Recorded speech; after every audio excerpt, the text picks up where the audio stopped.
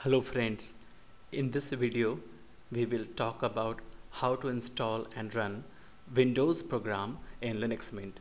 So to install and run such program in Linux Mint you have to first install a compatible layer called as Wine. So open the terminal and type this command to add ppa of wine to repository sudo add apt repository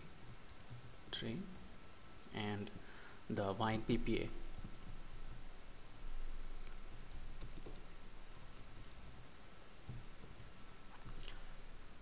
after this hit enter and give your password.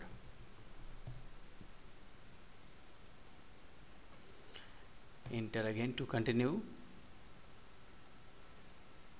So the PPA of wine is added next you have to run the system update. So write this uh, so type this command sudo apt get update and enter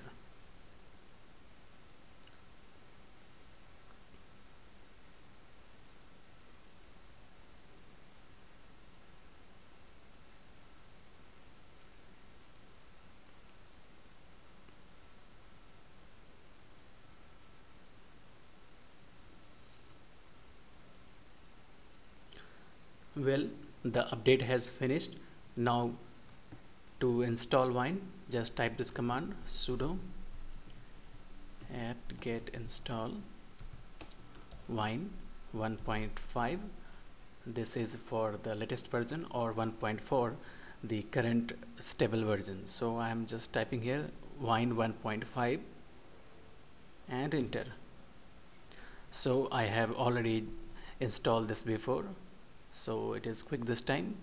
I'm going to close the terminal and let's click on menu to search whether wine is installed or not. So you can see here a new category is created. That is wine. So next I'm going to explain how to install and run any Windows program using wine on Linux Mint.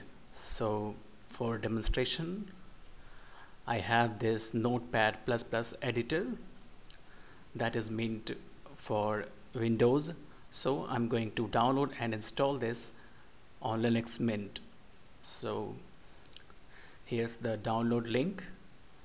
I'm not going to just download this right now because I have already downloaded before.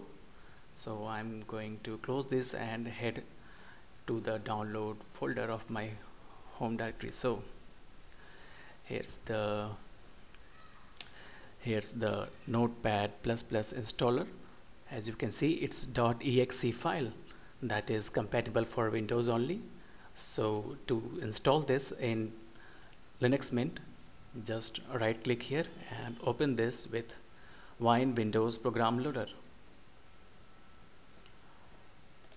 And uh, select language English next agree so this is the destination folder as C program files.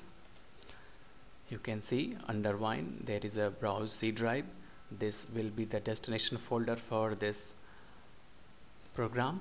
So next click here. Next I'm going to create shortcut on desktop and install